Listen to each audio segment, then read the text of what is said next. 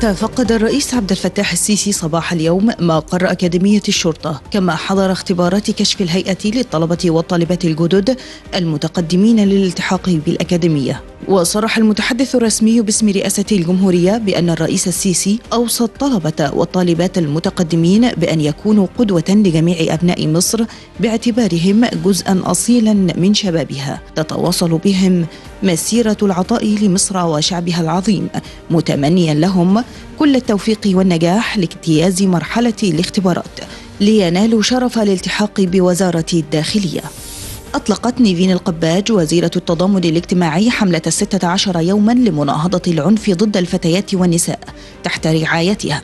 وتستمر الحملة طوال شهر ديسمبر 2022 بجميع محافظات مصر وعلى مواقع التواصل الاجتماعي وكافة وسائل الإعلام الجماهيري. وتم تدشين الحملة ميدانيا من محافظة أسيوط وأكد اللواء عصام سعد محافظ أسيوط على أهمية الحملة والتنسيق الفعال مع الوزارة ودور الرائدات الاجتماعيات والجمعيات الأهلية بالمحافظة في نشر الوعي المجتمعي حول قضايا الأسرة المصرية. في كافة القرى والنجوع بالمحافظة. تطلق وزارة الصحة اليوم وغدا ثلاث قوافل طبية ضمن مبادرة رئيس الجمهورية حياة كريمة للكشف والعلاج مجانا في التخصصات الطبية المختلفة.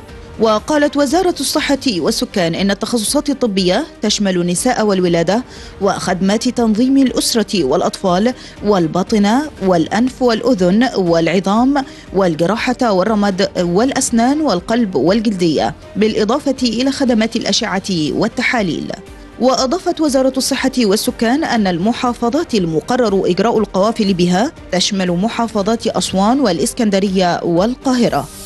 توفي الكاتب الصحفي الكبير مفيد فوزي صباح اليوم داخل إحدى المستشفيات الخاصة بعد رحلة طويلة مع المرض حيث ودعه عدد كبير من الكتاب والإعلاميين والوزراء عبر منصاتهم على مواقع التواصل الاجتماعي. كان فوزي يعاني من وعكة صحية خلال الأيام الماضية أدت إلى نقله إلى أحد مستشفيات المهندسين حيث كان يعاني من تعب شديد دخل على إثره للعناية المركزة.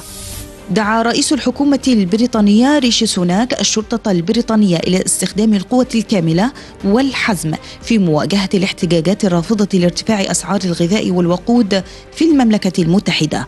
وأكد سوناك خلال لقائه برؤساء الشرطة على دعمه الكامل لهم. وفي نفس السياق انتقدت مجموعة حقوقية بريطانية وأخرى على مستوى العالم تصريحات سوناك معتبرين أن دعمه للشرطة باستخدام القوة يتعارض مع قيم حقوق الإنسان وبمثابة دليل قاطع على أن حكومة المملكة المتحدة تتبنى سياسة ازدواجية في تعاطيها مع ملف حقوق الإنسان لدرجة تبنيها لسياسة حاسمة لمواجهة تظاهرات سلمية تندد بارتفاع أسعار الغذاء والبنزين. العالمين فاز المنتخب الهولندي على نظيره الأمريكي بثلاثة أهداف مقابل هدف في المباراة التي جمعتهما على ملعب خليفة الدولي في افتتاح منافسات دوري الستة عشر من بطولة كأس العالم 2022 بقطر. كما فاز المنتخب الأرجنتيني على نظيره الأسترالي بهدفين مقابل هدف في دوري الستة عشر من مونديال قطر 2022 وبهذه النتيجة صعد كل من منتخبي هولندا والأرجنتين إلى دور الثمانية من المونديال.